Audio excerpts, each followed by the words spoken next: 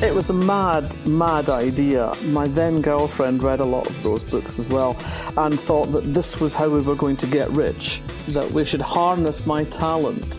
Because I wasn't at that point making very much money, I was barely making a living. Um, so I was going to write this massive doorstopper of a, of a book, and it was going to earn us millions in a six way auction.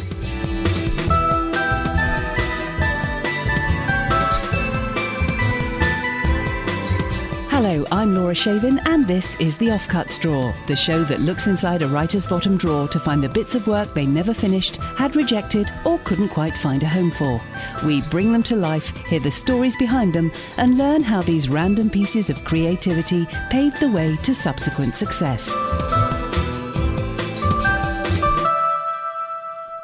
My guest this week is one of the biggest names in crime fiction, Val McDermid. A number one best selling author, her books have been translated into 40 languages and sold over 60 million copies worldwide. She's written six novels featuring private investigator Kate Brannigan and six about freelance journalist Lindsay Gordon, and her series of so far 11 thrillers featuring clinical psychologist Tony Hill spawned six series of the ITV drama Wire in the Blood. Her latest novel, Still Life, the sixth in a series about DCI Karen Pirie, has just come out in paperback, and she co created the BBC drama series Traces, currently running on iPlayer. Dubbed Scotland's Queen of Crime by, well, everyone, Val McDermid, welcome to the Offcuts Drawer. Thank you. It's really nice to be here and do a deep dive into my past. it sounds quite sinister. Uh, I can't help noticing that um, in the introduction, I did say an awful lot of number sixes just then six Kate Brannigan, six Lindsay Gordons, six Karen Piries. At the risk of sounding completely superficial, is six your lucky number by any chance? it's entirely accidental. Um, the reason why there are six Brannigans and six Lindsay Gordons is because they kind of stopped speaking to me. I stopped having the ideas that worked for them. Uh, and the reason why we're on six Karen Piries is that's just what the last one was. And there will be more Karen Pirie, I'm absolutely sure of that. Right, well, let's kick off with your first offcut. Can you tell us what it's called, what genre it was written for, and when it was written? Yeah, this is a pitch document uh, with some sample dialogue for a TV series idea I had it was going to be called WDC2, uh, and I wrote it in 2001 when I was living in Manchester. Manchester, in the new millennium, Gunchester, Gaychester, Madchester. Schizophrenia City, a music scene that throws up talent like Morrissey, M People, and Noel Gallagher with monotonous regularity. Drug and club capital of the UK, centre of academic excellence a year away from hosting the Commonwealth Games, light years away from Coronation Street. Against this dark, fragmented background, two women police officers try to hold back the night. Lee Kane and Maggie Peters move to the beat of the city centre, a pair of mavericks unwillingly yoked together to do the job in a way no one has ever seen before. Exterior, car park, night. Maggie and Lee are standing by the boot of a saloon car. The body language of the women is ambiguous. There is some kind of negotiation taking place, some jockeying for position. It could almost be the off key prelude to a sexual encounter. So, what do we do now? What do you want to do now? I've never done this before. You want me to show you? Take you by the hand? you want me to do it right? Maggie moves towards Lee. Just when a collision seems inevitable, she swerves and walks round to the driver's door. I'll drive. That's a start. As the car doors open, the interior lights up and we see a police radio and an interior that looks like a skip on wheels. Interior, moving car, Moss Side, night. Lee is driving. Maggie is leaning back in her seat, smoking. Through the car windows, we catch glimpses of tactical aid group vehicles and tag officers with their Kevlar vests.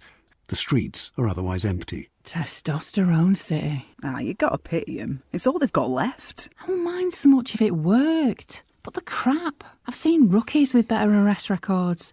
Soon as they show up at one end of the estate, everything moody funnels out the other end. Every bit of hooky gear, every packet of smack, every dodgy tow rag with a warrant outstanding. Only villains they catch, the ones other villains want them to catch. You reckon we should just leave it alone then? Let the bad lads get on with it? Have you listened to a word I've said all these weeks? Only the important bits. White, no sugar. We don't just leave it alone. We go for something that works, not something that looks good. Like what? Like you and me, softly, softly, putting the word out and doing the business without any assistance from Mr. Heckler and Mr. Cock. I'm glad you said that, because there's something niggling at the back of my mind. What kind of something? Maggie lowers the window and flicks her cigarette into the night. Now, when you sent this in, you described this as my idea for a minimalist cop series that nobody showed the slightest interest in making. Had you submitted it to people then? Yeah, we tried it out on various television companies. And back in 2001, there wasn't the great range of things like Netflix and Amazon, and uh, you were kind of stuck with uh, the mainstream of BBC, ITV, Channel 4, Channel 5, I think was around there. I'm not quite remember. And I've been doing quite a bit of, of work trying to get a series away with a, a friend of mine who was a television producer who'd had some track record. And I had this idea of a late late night half hour cop show that never goes into a police station. As these two women work in the streets at night with a very different approach. And I thought it was a really good idea. I did a treatment that outlined 10 episodes. And, you know, even looking at it now, I still think this is a good idea. Somebody should have made this. But probably the fact that they had a lesbian as one of the two lead roles didn't help. We once pitched Lindsay Gordon to ITV's head of drama, must have been sometime in the 90s, and he sent the snottiest letter back to the producer I was working with saying, Are you are you stupid sending me this? What? The notion of having a, a lesbian in the lead role of a television drama that wasn't all about angst and grief and pain and coming out was absolute anathema at that point. So that was probably part of the problem. You'd already published some of the novels that became the Wire in the Blood TV series. Did you know the TV series for that was in the works when you wrote this? It was sort of on the horizon. We'd had various interest in the books over a few years before that, but 2001 we'd just started talking to Coastal Productions, which is Robson Green's production company, who went on to make Wire in the Blood. So we were at the very early stages of negotiation, and I was quietly confident that we might get something away this time after uh, lots and lots of frustrations.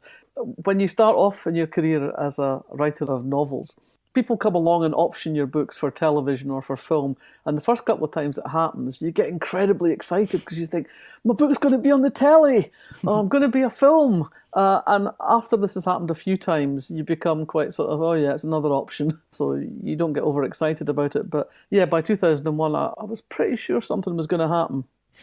Okay, time for another offcut now. Tell us about this one. Well, this is probably my first attempt at a crime story. Uh, I think I wrote it around about 1976, looking at the paper it's typed on, uh, and it's called Birdman. At the street door, the girl with blood on her hands forced some of the tautness out of her body and casually walked out into the street. Her caution was unnecessary. There was no one in sight. This was not, after all, where people were on the streets that hour of the night, and she walked easier in that assurance, her eyes open to catch any glimpse of a police car. Her steps rang out on the concrete as she walked on, not too slowly, but not quickly enough to catch attention should someone chance upon her. When she reached the main street, the girl with blood on her hands walked more slowly, letting the feeling of release flow through her bones, being sure that no one could or would suspect her. She had no motive known to anyone but herself and the murdered body lying on the rug. A crime of passion, yes, but not a passion anyone would guess at or believe in if it should cross their minds momentarily. She had loved that face that lay grinning in rage on the bloody rug. She had loved those fine bones that lay crushed under the weight of a death they would never have comprehended. But most of all, she had loved herself. As the night fog began to thicken around her, she turned into her hallway and climbed her stairs till she stood before the door of her flat. The girl with blood on her hands dug the Yale key out of her trouser pocket and fumbled it into the lock. As she turned it, her mind was flooded with a vision of the room she had left, and her relief flowed into the new shape of horror. She saw the picture she had created, an out of focus background, and vivid against a stark white goatskin rug before the gas fire, a sprawled corpse with a skull like grin, and a red stain slowly turning brown on a navy and white striped sweater. The girl with blood on her hands pushed open the door to her flat with some violence. She walked down her hallway and into her bathroom. The girl with blood on her hands washed them under a gush of steaming water.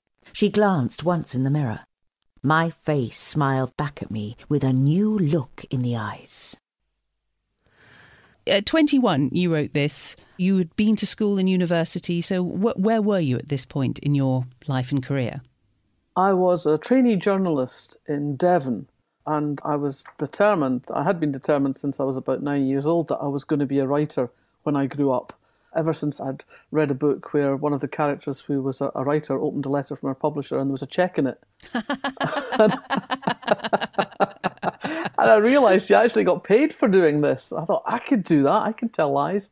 Um, and I, I spent, you know, most of my teens writing the kind of bad poetry and, and song lyrics that people do at that age, and occasionally trying to write bits of, of prose. I think the very first attempt at writing a crime story was when I was about 12 or 13, and we were looking at the Sherlock Holmes stories, and our homework assignment was to write a, a detective story. And I, the only thing I remember about it was it was about a diamond robbery but it hasn't survived and, and probably just as well.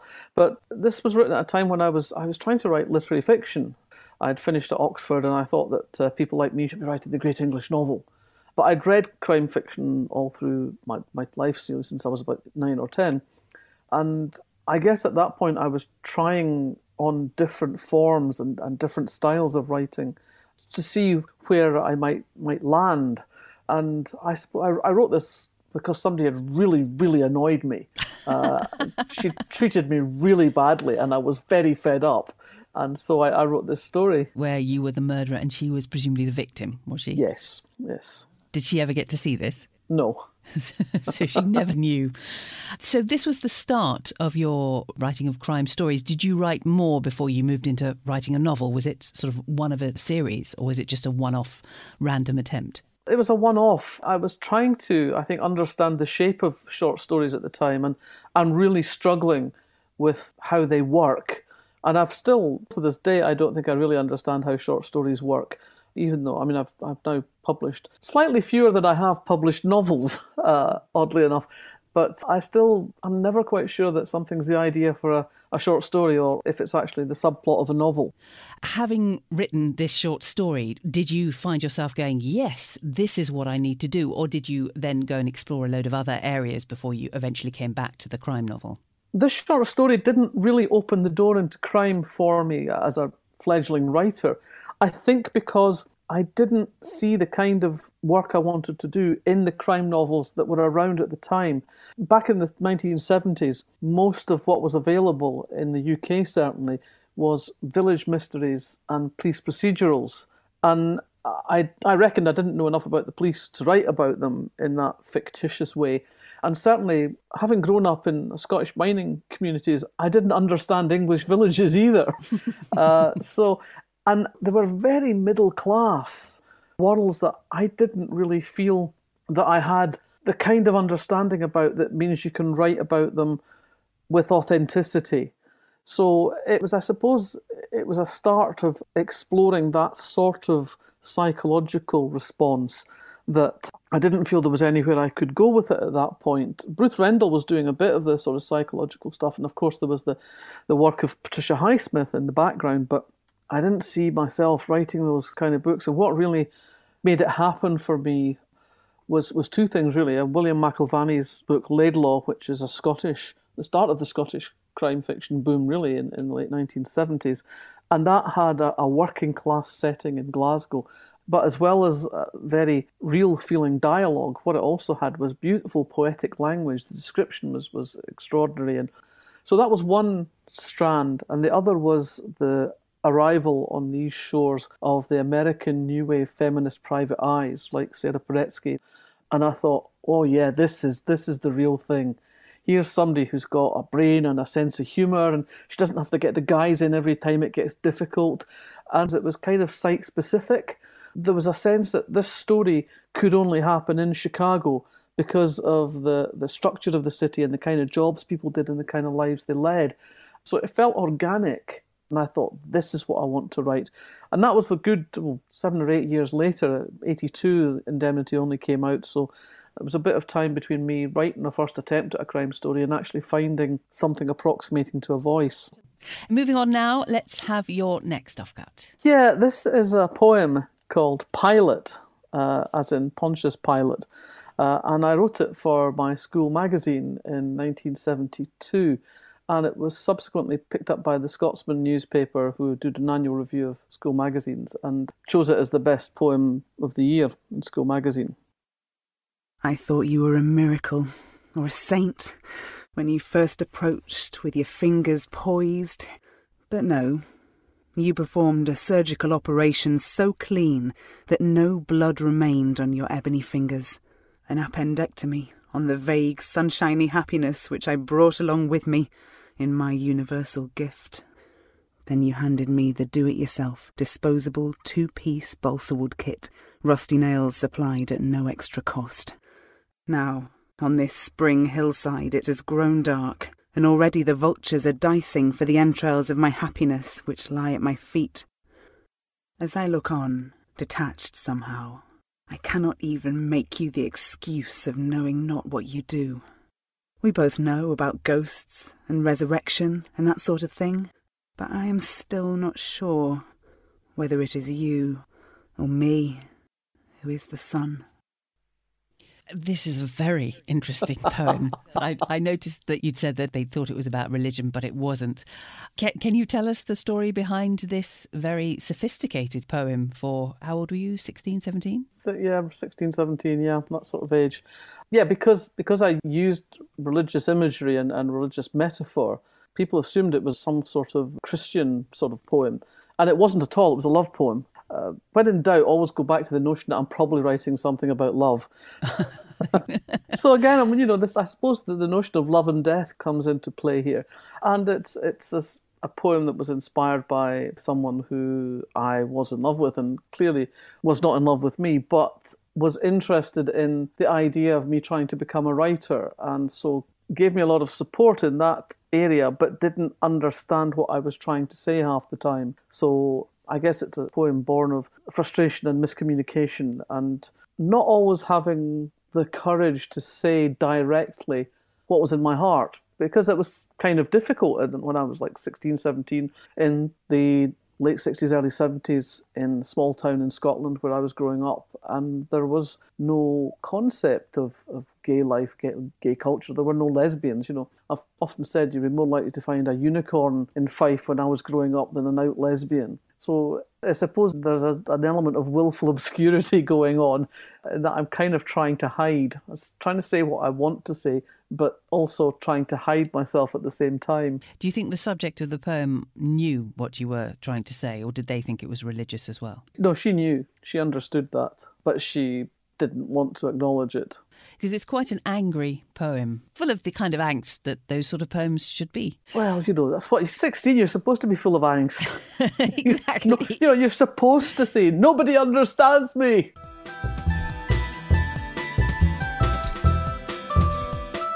Hi, this is Laura. Sorry to interrupt, but if you're enjoying the show, please do subscribe to the Offcuts Drawer, give us a five star rating, leave a review, tell your friends about it. All that stuff's really important for a podcast like this. And visit offcutsdrawer.com for more details about the writers and actors and to find out about future live shows. Thanks for your support. Now back to the interview. Now, I read that you had an unusual schooling, that you were put up a year. Did the moving up affect your writing, the subjects you chose, do you think? I don't know. I think this was an experiment that Fife Council did for a while in the 1960s where they took the brightest two or three kids from each primary school class and sent us off to high school a year early.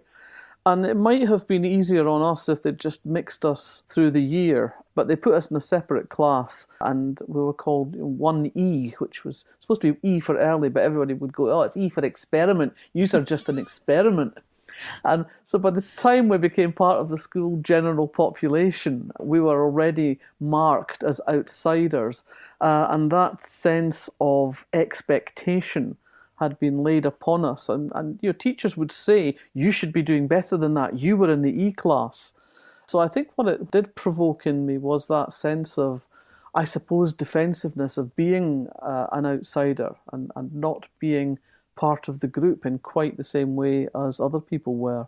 And that's a good thing for a writer. That sort of that detachment, that sense of being on the outside and observing, is a very useful facility. And it presumably also spurred you on. Were you slightly competitive as a consequence? I don't know. It's, it's hard to say because you've only got the life you lived. But certainly, I, I always had a sort of strong determination to do well.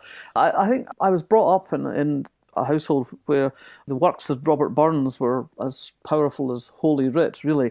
My dad was a great, uh, great Burns man, and I was brought up with the idea, of, as uh, the poem "A Man's a Man for All That," that external things are not how you judge yourself. That you know the rank is but the guinea stamp. The man is the gowd for all that, and that that I should be the best I could be. And the only thing standing between me and being the best I could be was me. So I had that sense of not letting myself down. And I've always had that sort of terrible sort of sense of, you know, if you've got a talent and you don't maximize it, then somehow it's a sin against nature. Terrible Scottish Presbyterianism. well, it hasn't served you too badly. Okay, next off cut, please. What's this one? This is a play that I wrote uh, in, in the late 1970s. Uh, it started as, as one of my great English novels, uh, which I wrote around about 1975 76. Uh, then it became a play and a radio play, and it's called Like a Happy Ending. Scene 12. I told Olivia that you did not want to speak to her. You did what? How dare you? Have you gone mad? I have not. I have done the right thing at last. I have done what I should have done a long time ago. This so called love that you and Olivia have been deluding yourselves about must stop. It can't go on. I won't have you see her again. Don't be ridiculous. We're going on a holiday together tomorrow. You're not going anywhere. Can't you see this thing is wrong? What the hell are you saying? You must be out of your mind, right and wrong. What has that to do with anything? I love her. I love her. Can't you understand that? You don't know what love means. to you? You with all your bloody love, what have you done? You drove my father from me. You killed him, damn you. And now you dare to tell me what is right and what is wrong. You try to own me, that's what it is. You pretend it's because Liv's a woman that you hate it, but you really don't want me to have anyone but you. That's why you forced my father to go. Will you calm down and behave like a normal human being? You don't know what you're talking about. You worship your father without knowing the first thing about him or the way he treated people. Your father leaving us was the best thing that ever happened to us. That's not true. It's not. You put him on a pedestal. You're doing the same thing with your precious Olivia, and there's nothing for you either. Nothing. Nothing except a perverted way of life masquerading under the name of love. A life that means lies, that means losing your family, your church, all that you have held important in your life. Will you wake up to reality? If that's reality, you can stuff it. What do you know about it? You never gave love in your life. You just demand it. All the time, you demand it. You insist in your mind that I'm your mirror image. I'm not. I'm me. I love Olivia. I chose it. Our love is good and strong, and nothing you ever gave me has been anything like it. And I'm going to stick with her. You can't stop me. Can't I? She won't stay with you. She'll get tired and go, or you'll get tired like your bloody father, too weak to carry the burden of loving. No bloody wonder he got tired of it with you. I bloody hate you. Oh, God, how I've grown to hate you. Put that phone down. Fuck you, Mother. Get out! Get out of here! Get out of this house! Janet holds her head high, stares at Elizabeth, then turns on her heel and walks out. Oh, God. What have I done? I didn't mean it to be like this. I only wanted to make it clear for her. Goodness me. That's very, very melodramatic. Sturm und Drang. Tell me the story of this. Um, it's I, I wrote this novel, and it's about this tortured human relationship. It's about it's kind of based around my first great love affair in my final year at, at, Oxford, where I fell in love with someone who fell in love with me. But she had lots of conflicted uh, history about her own family, who were devout Catholics, and uh, there was all sorts of difficult stuff going on in the background, and it all imploded in a very dramatic way.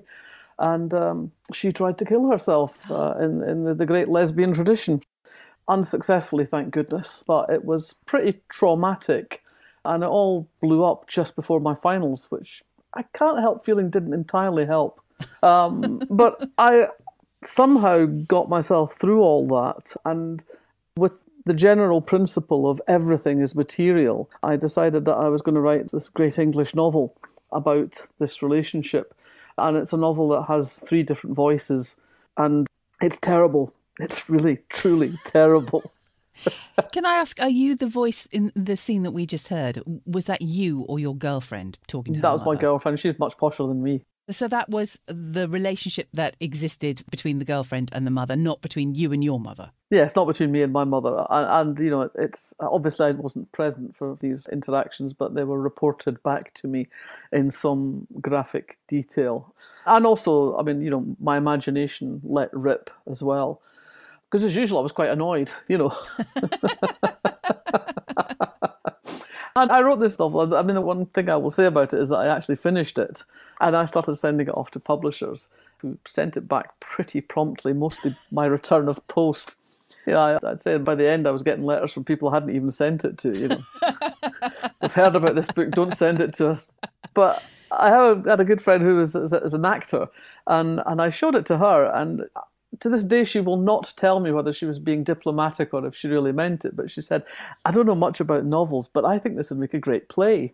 And I, I didn't really know how to write a play, so but I thought, well, just cross out the descriptions and leave in the dialogue, and it'll be a play. And so that was essentially what I did. I, I went through the manuscript and, and I kept the dialogue in that I thought worked, and then wrote some extra scenes to cover the bits I'd crossed out. and I went off to a local theatre. I was I was working in Plymouth at the time as a trainee journalist down there, and the local theatre company were doing a series of studio plays, new plays in, in the small space. And the director said, "I'd love to do this. It's perfect for what I have in mind." And so, entirely by accident. At the age of 23, I was a professionally performed playwright. That's fantastic. Uh, and I, I had no idea what I'd done right. Uh, I, on the back of it, I got an agent. We sold it to BBC Radio, and it ended up, it was initially supposed to be for Radio 4, and they got cold feet because of the subject matter. And then it was going to go for Radio 3, and they got cold feet because of the subject matter, and it ended up on Radio Scotland. I think it was just because the producer was based in Edinburgh and he'd made it and he was determined it was going to go out somewhere.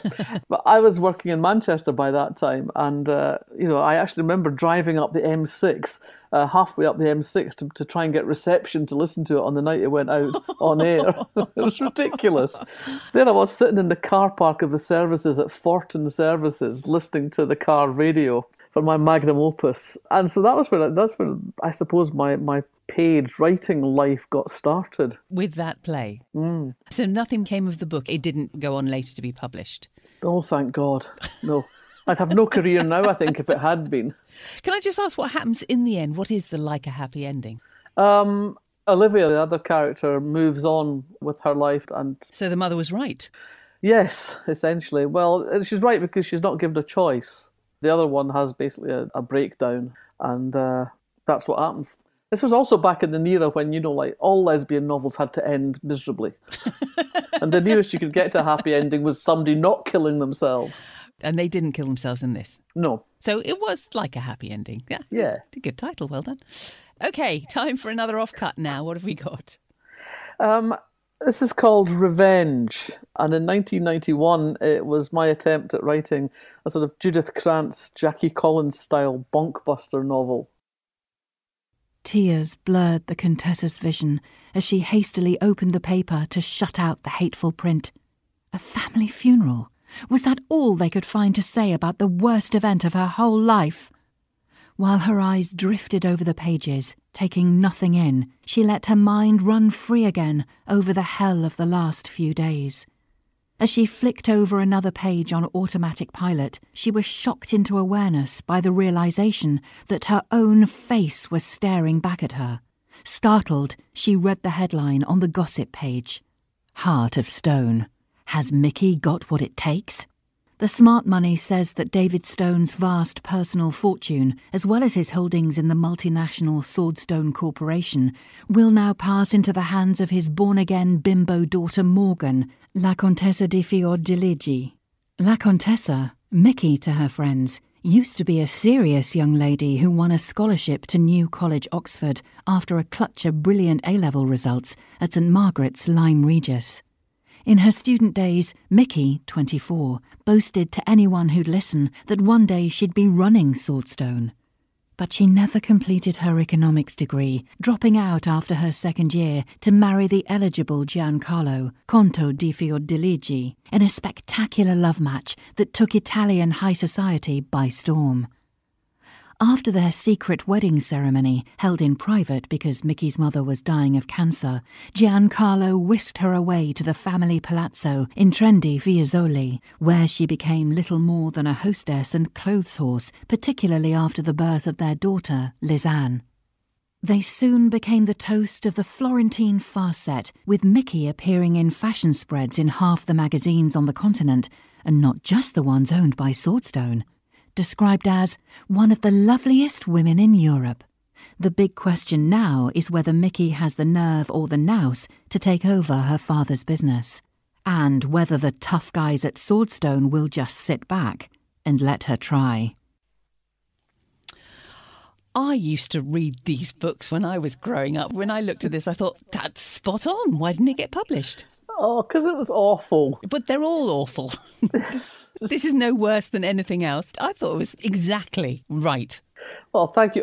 What it what it probably should have been was like much more um, media empire stuff and it ended up being on a, on a much more kind of parochial scale. It was a mad, mad idea. My then girlfriend read a lot of those books as well and thought that this was how we were going to get rich, that we should harness my talent because I wasn't at that point making very much money. Were you still a journalist or were you now a writer at this point? I had just quit the day job. So I had jumped out of the, the mink lined cage into writing as a tax loss which was for the first couple of years. I mean, everyone thought I was crazy when I gave up my job. I was the Northern Bureau Chief of a national Sunday newspaper. I had an expense account. I had a company car. I still had a pension because Robert Maxwell hadn't jumped off his yacht at that point. And I threw it all up because I thought, I've, I've got to do this. I've got to take this chance. And so, as I say, my then girlfriend decided that this was what was going to make us rich. I was going to write this massive doorstopper of a book, and it was going to earn us millions in a six-way auction. It's very precise. ah, yeah, and uh, so I, I wrote it. I mean, I was writing it side by side with writing the crime novel I was writing at the time, which would have been a Kate Brannigan novel. So it was almost like in the mornings I wrote this, and in the afternoon I was writing Kate Brannigan, and I finished it. I've got a tendency to finish things even when I should throw them in the bin, and it just didn't sell. My agent, God bless her, tried so hard to sell it, and uh, I think it just wasn't quite bad enough in some ways, you know. I did like the little mention of her very good A level results. I thought that that was very that was a really nice touch. It's sort of thing that somebody like me who would have been reading it at 16, 17 would have gone, oh right, yes, yes, that's important. That is, yes. Yeah, you've got to get good A levels if you're going to marry a rich Italian count. Yeah, yeah that's the way to success. yeah. Do you reckon there'd be any chance to resurrect it? I mean, now that you are Val McDermid, would you be able to do anything with it, do you think? I mean, at the time you were just a another writer, but now you have a bit of heft behind you, so to speak. Do you think? Oh, but it's terrible. it's really terrible. I mean, it's, it's, that, it's that tabloid prose you know, uh, which I could write back then, and to some degree still can write now with great facility. But there's no depth to it. There's no, there's no there there. You know, and, and my heart would not be in it. You know, I'm I'm I'm in the very privileged position of writing books that I'm passionate about and excited about, and I don't need to go back and sort of retread things that even at the time that I was writing it felt more like a job of work than something that had a, a hold on my heart. No, fair enough. But speaking of somebody who used to love those books, I think I'd love to read a Val McDermid version of something like that. That would be brilliant. There would be the odd corpse in it, I suspect. Uh, absolutely, yes. right, let's move on to the next offcut now. What is this one? This is much more recent. It's from December 2019, and it's a, an idea that I had for a, a TV series uh, called Skeletons. Two heads are better than one, right? especially at the dark intersection between love and death, that dangerous corner where sex and blood collide with the unthinkable and the unspeakable. When two smart people discover the excitement of the ultimate transgression, anything can happen. And it does. Chloe Summers is an artist working in mixed media, photography, collage, graphics, on the cusp of commercial success thanks to her last two exhibitions, Love and Food, Love and Marriage. Now she's working on her third, the one that promises to break her out into the big time love and death. But she's stuck and struggling, trying to escape cliche and trite images. Her partner, Colin Stevens, a senior crime scene investigator, is upset to see her so stressed. Bound together in a heady cocktail of heightened eroticism and emotional codependency, neither can be happy unless the other is too. Skeletons opens at a private view. Chloe and Colin are drinking champagne and mixing with the patrons and critics who can make or break a career. Chloe is depressed at her own lack of inspiration. Colin reads her despondency and feels helpless. Intercut with the sophisticated party, we see somewhere a killer is engaged in a stylized ballet of violence, creating a tableau of horror with the body of a young man at its heart. As Chloe and Colin arrive home, he gets a call out to a crime scene. It's the end product of the killing we've already seen. It's a scene so terrible, it's beyond the experience of all the officers there, but it holds its own awful fascination. And as he works collecting trace evidence, Colin also obsessively takes photos on his phone. When he returns home, Chloe wakes up and he offers to show her the crime scene photos. Perhaps they will break her creative logjam, but the effect is one neither of them expects. The photos plug into the dark side of their relationship and fuel an erotic response neither expected, but both welcome in spite of themselves. Nothing has ever turned them on so much as this. So this is the most recent offcut you've given us, and you you said that the more you looked at it, the more ridiculous it seemed. Why was it ridiculous to you? Um, because it just seemed to me to be the improbability of it, really, that uh, an artist and a crime scene technician would turn into a pair of crazed serial killers making artworks out of people's bodies and end up confronting a real serial killer. I think it, it just got, it was, it was ridiculously grand guignol. And it was a point where I thought maybe I should stop writing this kind of book because I'm actually going to a point where this is just crazy. And I guess I, I just thought I could see this being made and I could see myself spending months of my life explaining why I'd written something so violent and turning horrible violence into such artistic beauty. And I thought, I just don't want to go there. Why was it called Skeletons? Um, I can't remember now. I was looking at that going, the answer's in here somewhere, and I can't, I can't work out why is it called skeletons. Skeletons in your cupboard. I don't, I don't know now. I mean, it's it's one of those things where you knock it out and, and, and write lines like a stylized ballet of violence, and and and you look at it and you think, I hate myself. yeah, it just seemed to me to be a misstep, a, a misstep of the imagination, and that's what happens. You, you know, one of the things about being a writer well, one of the things I find is ideas are everywhere. Ideas are cheap. Every day something occurs to me and I think, oh, maybe we could do something with that. And you chuck them away in the back of your head, and some of them just disappear forever, and some of them resurface, and you'll knock out two or three pages and see how that looks on the page. Does it make sense? Do I still like this? Am I interested in this? And a lot of it ends up in the bin. But these days, because we save everything to our hard drive or save everything to the cloud, it still sort of sits there. And, you know, maybe 15, 20 years ago, I would just have typed that up and then thought, no, just bin it. Right. It just survived because of modern technology. Yeah. I suppose it's an example of the things that, you know, that you play with and you think maybe this will go somewhere, maybe this will be something. And then once you actually look at it in the cold light of day, you realize for all sorts of reasons that it's not something you want to write. When you say you you write out a couple of pages, do you mean you write out a couple of the pages of the book, or is it like a treatment? You write out a description of what the project's going to be. It's usually that I'll write out something like a, a, a little bit of a couple of pages of, of treatment, and, and maybe a little bit of the opening, or or perhaps some dialogue between characters to see if it feels like a head I want to be inside or people whose company I want to be in for a while. So it's a document for you, not it's not a sales document to convince a publisher. No, it's for my reference. I mean, I think I drive my publisher slightly crazy because like uh, I'm not ever really in a position to give her anything until I'm pretty much done with the first draft. You know, I'll say, well, it's another Karen Pirie, and uh, she goes to the Highlands. that's all you need to know. yeah, that's all you need to know. Although that might change. She might end up going to the borders.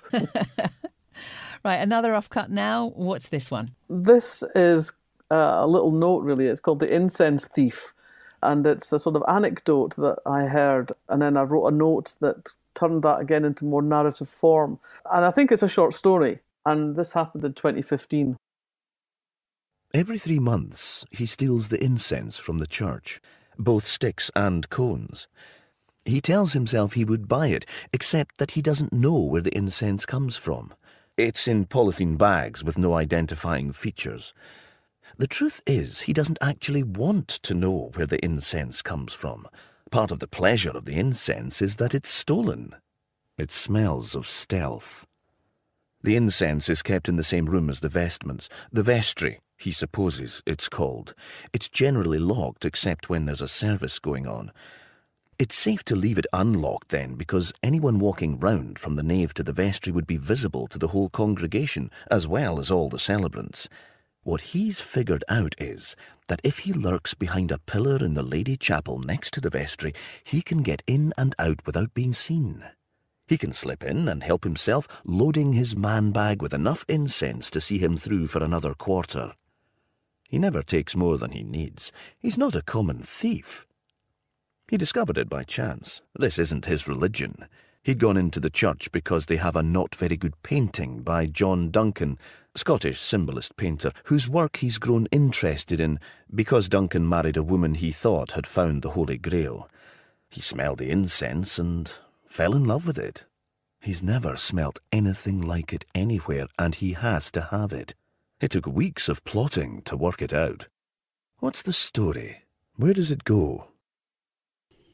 So, is this going to be a mystery or crime thriller short story, or would it have gone in a completely different direction? I don't know. I still don't have the story. I've got the sort of starting point, and I've got a sense of who this person is, but I don't know where it goes from there. And every now and again, I pick it up and I took a look at it, and I think it's far too good to waste. It's such a great jumping off point. And there are much stronger short story writers than I who could make a really special thing from it but I'm not sure that I'm the person who can do it. But I kind of hold it to myself as a little jewel, as a little little warming thing that I can take out and fondle. And, and I think that the opening is really strong. The, the, the first paragraph in particular, I think, really works as it is.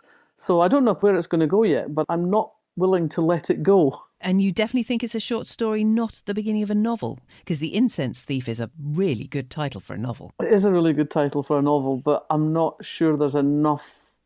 Well, I certainly haven't found enough to make a novel out of it. It's really just an example of the way things will capture my attention and will sit there.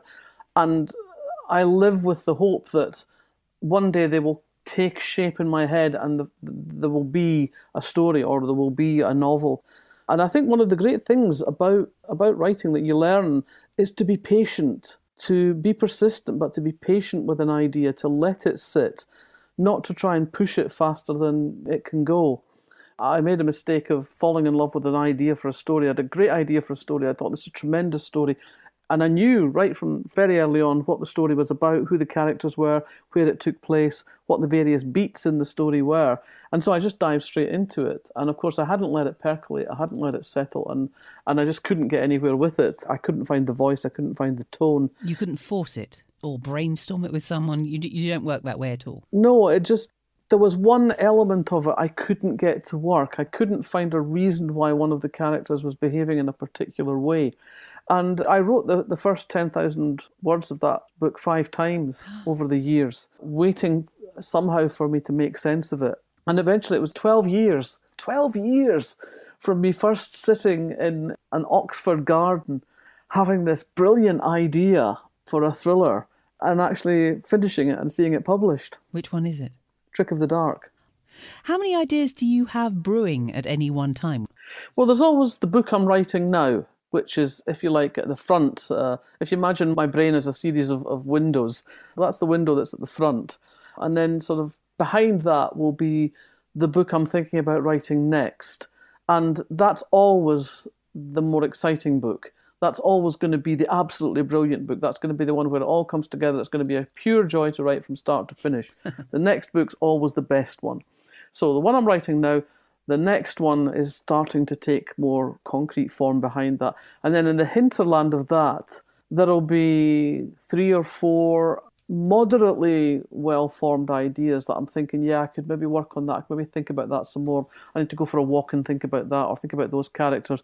And then beyond that, if you like, in the far hinterland, there are vague shadows of ideas that might come to something or not. Okay, we've now come to your final offcut. Can you tell us about this one, please? Yeah, this is an idea I had for a TV drama series. I started working on it in the early 2000s, and it got to this form around about 2002, and it's called Vertical Sheep. Dr. Anna Wild makes babies. She's a medical scientist dedicated to her calling. It's what she does day in, day out. A successfully implanted embryo is what she's after. The Randolph Fertility Clinic is one of the best, but there are still many more would be parents going home with empty arms and a sore heart than there are success stories. For Anna, it's a vocation. Intelligent, sensitive, but driven, she's willingly sacrificed an emotional life on the altar of saving and making lives. Tom, the clinic director, is her boss and mentor. He's built himself a reputation for steady, unspectacular reliability in a world where conservatism is still regarded as one of the cardinal virtues. For 20 years, Anna has been his lieutenant, but she's never really understood that while she's driven by the desire to make women's lives better, Tom has primarily seen fertility medicine as a clever career choice. And when his eye for the main chance leads him down avenues Anna wouldn't even notice, it has a seismic effect for her, both personally and professionally. Since the days when Tom was a young doctor and Anna his most gifted student, her personal life has centered round her friendship with him and his artist wife Claire, and with her brilliant fellow student Daisy, now working miles away in London. Not a big social circle, but all she wants or needs. As for men, she hasn't had the time, or frankly the inclination for more than the occasional mild flirtation. The temptation of medicine was always stronger, and what you've never had, you don't miss. Behind her competent, worldly wise facade, she's an emotional virgin. So when she finally does collide head on with love, she doesn't have the experience to know what's happening to her. As Anna nears her 39th birthday, her world is busy, calm, and ordered, and she expects it to stay that way. What she doesn't know is that she's about to be ambushed by three very different things a flask of frozen tissue, the ambitions of a pharmaceutical giant, and love. Where is this going to go? Is this science fiction? It's a drama set in a fertility clinic. It seemed to me that this was an area that hadn't been covered by a, a recurring drama series, and it was absolutely ripe to be explored in that way. I have a friend who runs a fertility clinic, and over the years, she's talked to me a lot about her work and the pressures of the science and the pressures of the ethics. And I, I learned quite a lot about it over the years, from also from my own experiences in that area. I have a friend who is a, a, television producer, and the two of us started working on this, putting a drama together. Um, the title Vertical Sheep came from uh, a lecture that my friend was telling me that she'd attended, where uh, one of the speakers said, Well, we could do this with sheep now, and ultimately women are just vertical sheep. and I thought it was a great title, great title for a drama. Um, and we worked on it for quite a while. We worked up uh, as a six-part drama, and I thought it was really strong. And we got it into development with an independent production company. And then what sometimes happens with this kind of development is you get a clash of personalities. And we were set to work with a particular script executive, and he was a nightmare Ooh. He just wanted to write the script that he wanted. He didn't understand much of what we were trying to do. He didn't understand much of the, the scientific basis for what we were writing about, and he didn't want to understand. And every script meeting we had was a nightmare. Every time there was stupid, pointless arguments. And in the end, I just reached the point where I thought, I never want to talk about this again. I never want to hear the words fertility clinic and drama in the same sentence. And so we walked away from it. And it just it, it died because it had become toxic in my head because he had been so impossible to work with. But you could redo it again now with another production company, couldn't Probably, you? yeah. I mean, I would have to go right back to first principles because it's 20 years ago and fertility medicine has been revolutionized in so many respects since then. I'd, I'd have to go back and look at the science again. But I still think there's a great possibility for a series set in, in a fertility clinic because, I mean, it's, you know, it's all human life is here. Mm. All sorts of people come through the door. And then you've got your, your medical staff who are, are pulled in various directions by what's possible and what's permissible. So, yeah, I think it's still got great potential for somebody else to pick it up and run with. But one of the things I've always said about adaptation and about having adaptations of my work is that I would not work with people that I didn't like and I didn't trust. And this completely bore out that determination that it destroyed the project for me because one person was just so impossible to work with. We've come to the end of the show now. Of one final question. Having listened to these offcuts, is there anything you've noticed, anything that has surprised you at all about your own writing? Yeah, there've been one or two moments where I've thought, you know, actually, that's not bad at all. I'd kind of probably dismissed that over the years, but, uh, you know, that very first story, the Birdman story, I was really surprised by by how well that worked, how chilling it was in places, and it's been it's been interesting. Uh, there've been toe curling moments, no doubt about that. But you know, maybe what I need to do is go back and look in the offcuts drawer and see if there's something there that needs to be resurrected. Are you somebody who does like to look back and, and check through stuff? I like to go back and think about things that have interested me, excited me. You know, there's a reason why something is in the ideas folder, or I tore something out of a magazine and stuck it in a in, in a file. So I need to go back and, and revisit things to see if they set another idea stirring, set another hair running for me. You need to take in, you need to suck in a lot of stuff for the, the good stuff to rise to the surface. You know, I think where a whale just sort of like sucks in great quantities of stuff through its rows of teeth um, to find the, the little gems that sustain it. You know, it's a bit like that. You know, you have to take in a vast amount and wade through an awful lot of shit before you get to the good stuff. well, Val McDermid, it's been fabulous to talk to you. Thank you so much for sharing the contents of your offcuts drawer with us. It's been a delight. Thank you.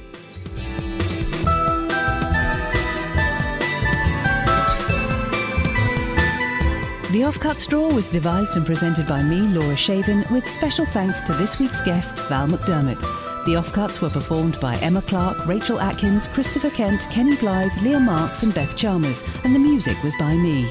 For more details about this episode, visit offcutsdrawer.com and please do subscribe, rate, and review us. Thanks for listening.